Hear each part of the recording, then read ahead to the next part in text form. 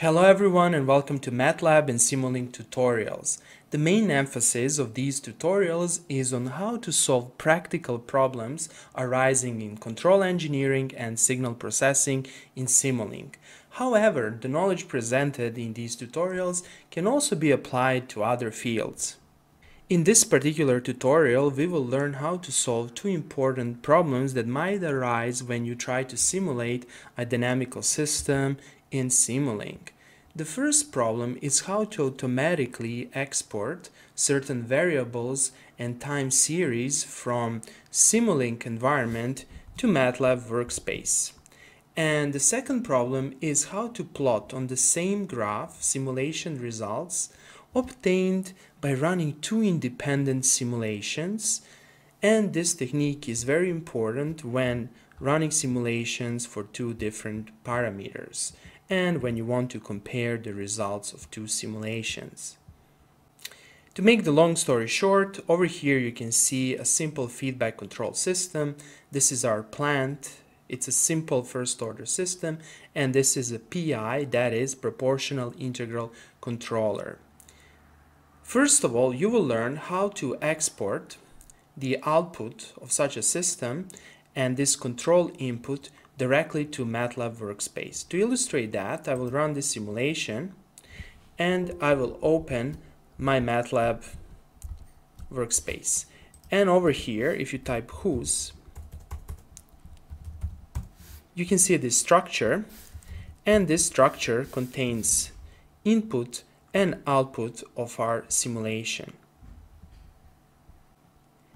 Once you have these sequences, you can either plot them or you can perform some additional analysis on the extracted time series. For example, you can compute fast Fourier transform or you can save this data and use it in some other programming language such as Python or C. Secondly, you will learn how to solve this problem.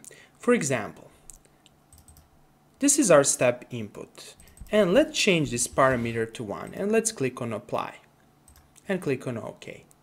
If we run the simulation, over here, we can see the response of the system. Since the feedback control system is stable, the output perfectly tracks the input. However, let us say that we want on the same graph to plot the step response when the input is equal to 5.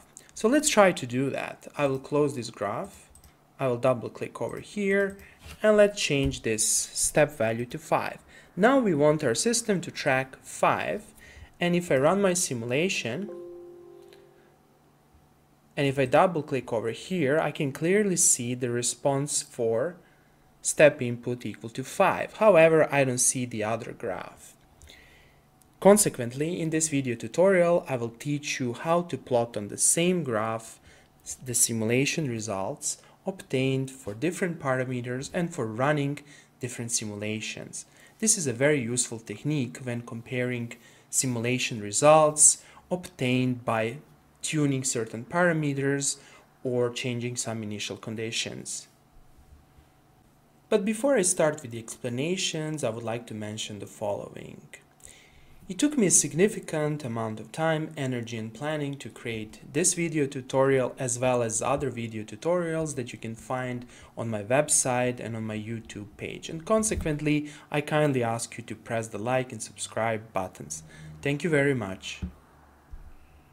Okay, let's start. The first step is to open Simulink. I like to open Simulink by typing in MATLAB Workspace Simulink.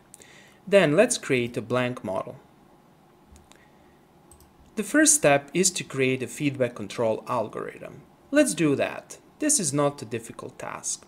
First of all, let us create our transfer function. I'm double clicking here on this empty workspace and I will type here transfer function. Okay, let us expand this window and let us change the parameters over here. For example, we can have a transfer function that looks like this. Okay, next, let us create our PI controller. To create the PI controller, we need an integrator. So here's our integrator.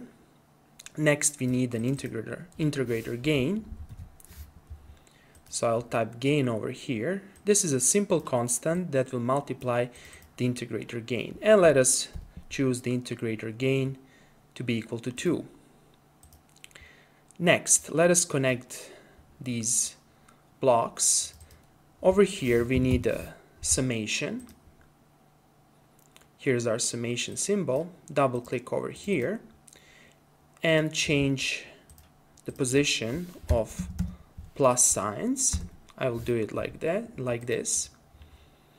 Then let's connect these parts and let's add a proportional gain. Over here I will do a double click and I will simply search for a gain.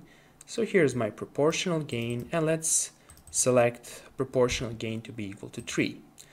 I don't care here about the stability of the system since I will tune these param parameters 3 and 2 such that the closed loop system is stable. Next, let us create the feedback loop and the error term. I will double click over here and I will click on summation and I will change the signs. This will be a minus sign. Let's enlarge this block and let's create our feedback loop by connecting the output of our plant to this block over here. This part over here is our error. Over here we need an input signal. This will be a simple step signal over here, if you double click, you can change the step time. Let us choose the step time to be equal to zero, and let's choose the final value of one. And let's click on OK. And let's connect this block to our summation.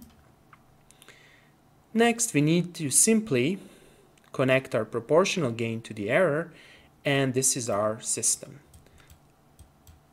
Let us add a scope over here such that we can plot the results. And let's connect the output of the plan to our scope. Perfect. Let us simulate this system and let's see the response.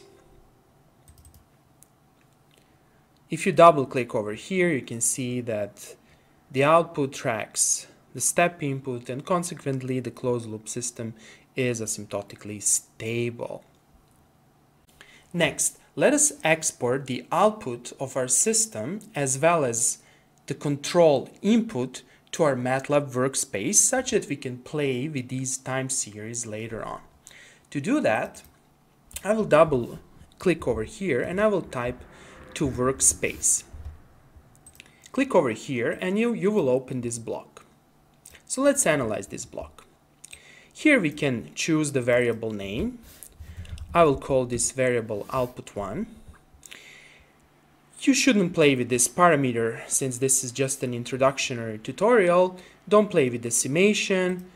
You can choose an array as an output format and click on OK. Of course, you can read help and you can also analyze and learn more about other options. However, since I want to make this video short as possible, I will not explain these other options.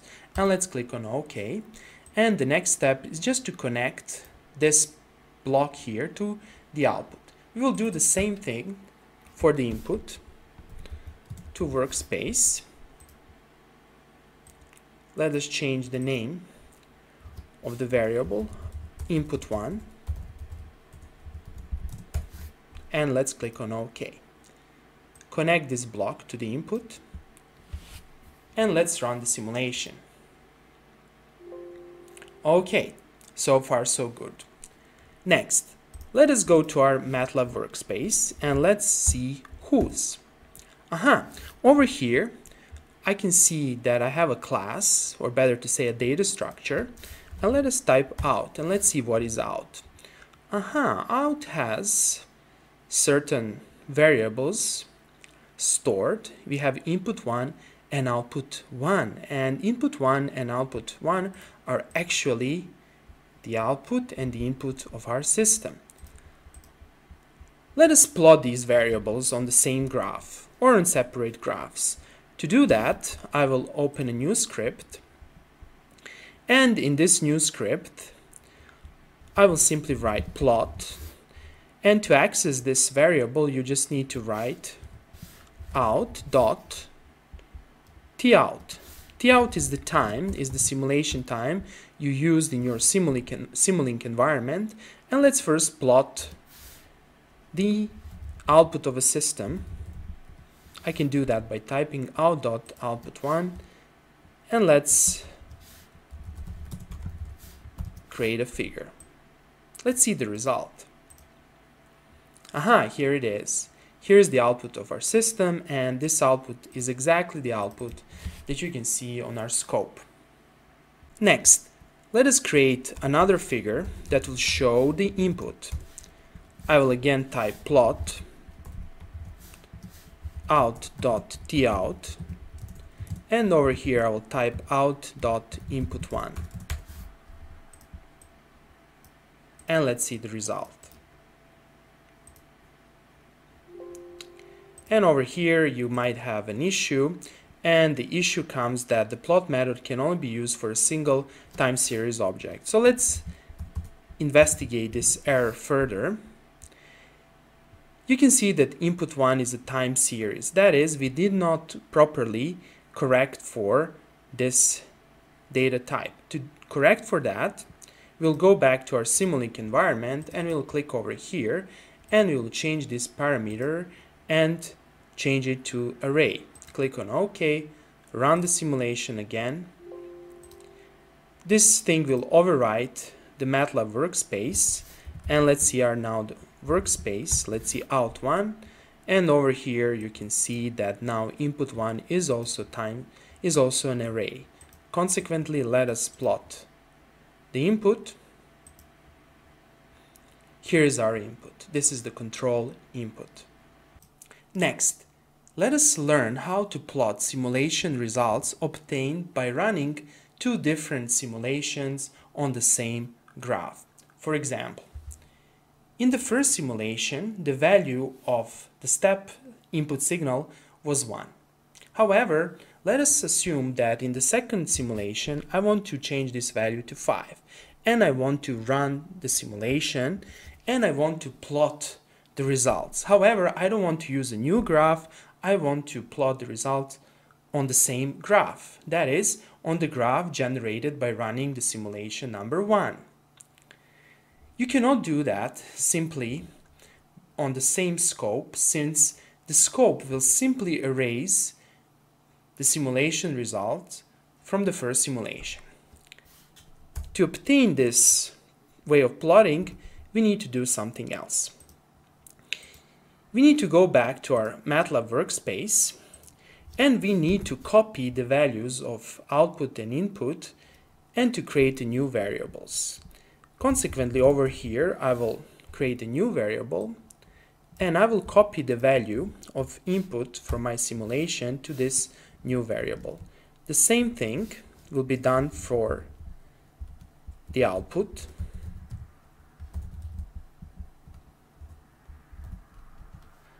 And also I need to extract time. I will call the variable time out.time1 T out.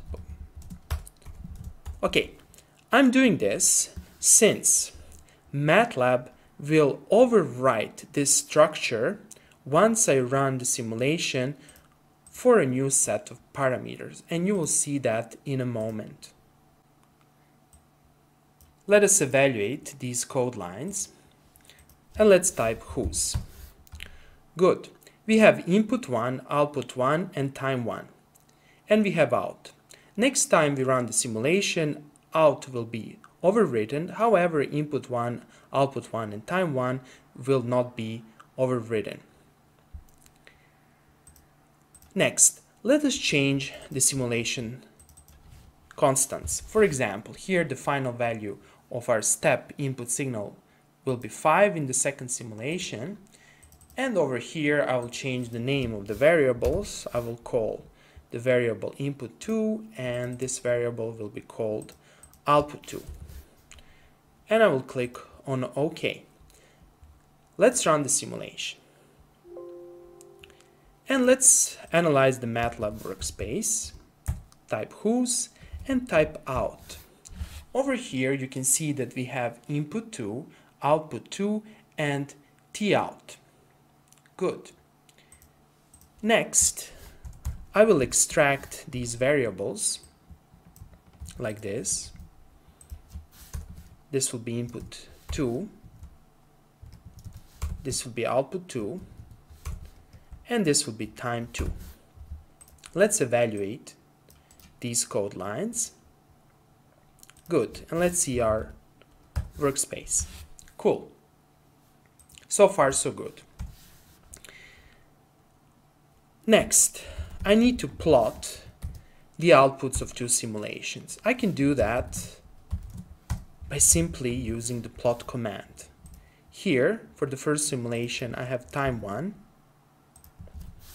and I have output 1. And let's select the color, for example, red color, And let's plot the simulation results for the second simulation. And let's choose the black line. And let's see the results. Here it is. This is the step response of the first simulation and this is the second second step response that is the step response of the second simulation and in this way you can plot simulation results coming from five different simulations, for example. Okay, that would be all for today. I hope that you liked this video. If you like the videos I create, please press the like and subscribe buttons. Thank you very much and have a nice day.